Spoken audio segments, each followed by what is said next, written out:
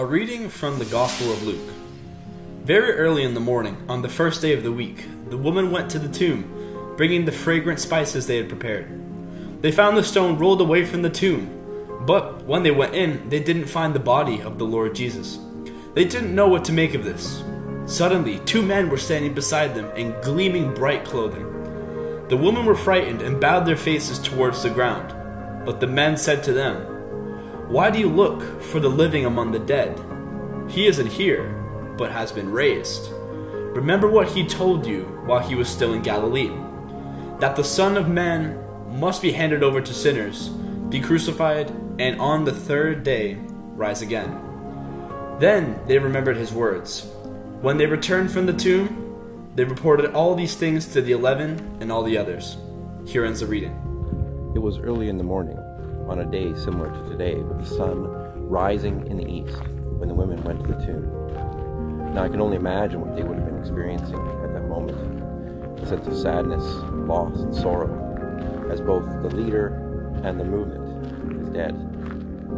But they go to the tomb anyways to prepare Jesus' body for a proper burial. But when they get there, they're met with shock and confusion as they see that the stone has been rolled away and the tomb is empty. Suddenly, two men in white appear, and they say, Why do you look for the living amongst the dead? He is risen. And they wonder, Is it possible? Could he be alive? Suddenly, all their sadness and despair has turned into hope and possibilities. We had not been expecting him, and yet we had. We were frightened because he had been killed, and they might be looking for us. Then, when some of the women said that they had seen him, we were more frightened than ever.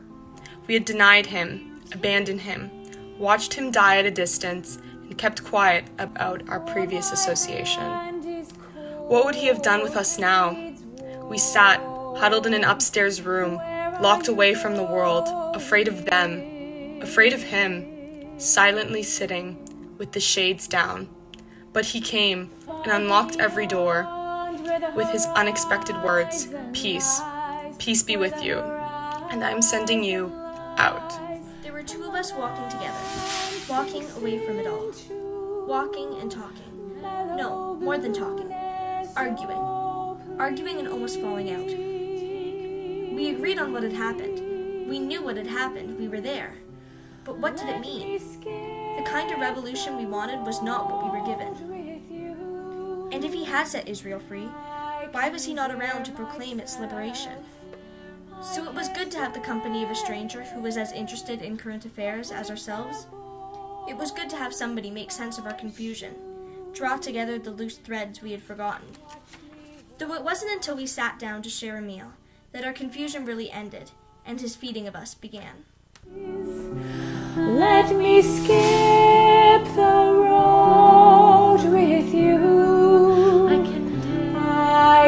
dare myself. I can dare.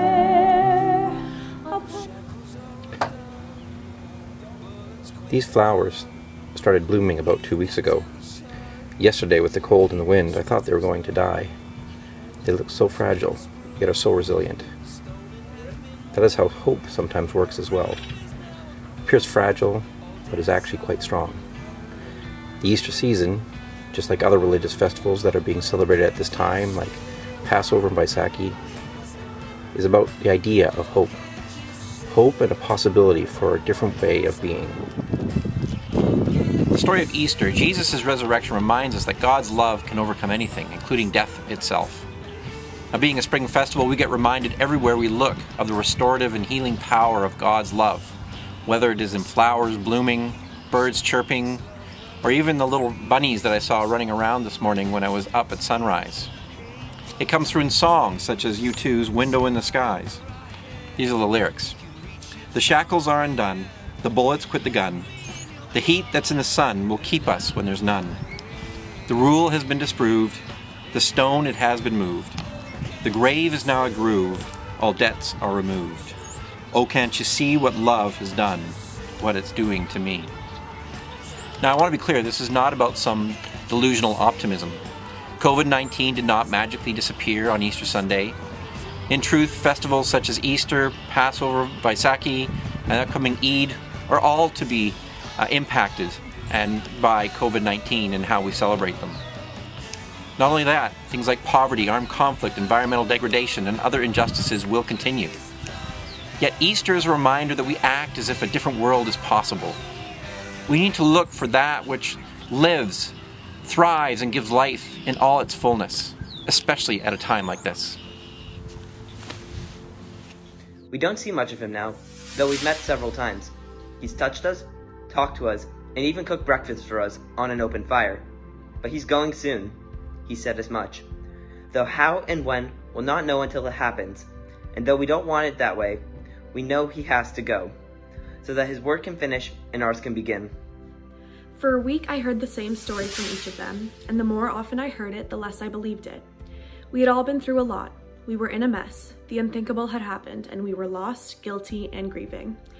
I thought that maybe the death hadn't sunk in. I thought they were refusing to come to terms with it, pretending that it hadn't happened. His hands had touched us, his breath had blessed us, but now they were cold and he was gone, and all that was left was memory. Yet in all my doubt I envied them, until doubt vanished and faith kindled again, when a well known voice said, Put your hands here. The readings we just heard are based on the experiences of those who first saw the resurrected Jesus. Some were fearful. They wondered if he'd be angry. Some had doubts, some were confused, some were hesitant about what was being asked of them. These are all emotions that we can relate to doubt, fear, hesitation, Yet they all express the same sense of hope and possibility, and a recognition that as Jesus' earthly journey was ending, their journey to continue to proclaim the message of peace, hope, love, and justice was just beginning. I think that is a pretty important message, and one we can all get behind. So let's get out there. Let's see what love can do, and bring hope, love, and healing, because the world could use a little bit of that right now. An Easter Carol by Christina Rossetti. Spring bursts today, for Christ is risen, and all the earth's at play. Flash forth, thou sun, the rain is over and gone, its work is done. Winter is past, sweet spring has come at last, is come at last. Bud, fig, and vine, bud, olive, fat with fruit, and oil and wine. Break forth this morning rose, thou but yesterday a thorn. Uplift thy head, O pure white lily, through the winter dead. Beside your dams, leap and rejoice, you merry making lambs. All herds and flock rejoice, all beasts of thickets and of rocks. Sing, creatures, sing. Angels of men and birds and everything. All notes of doves fill all our world. This is the time of loves.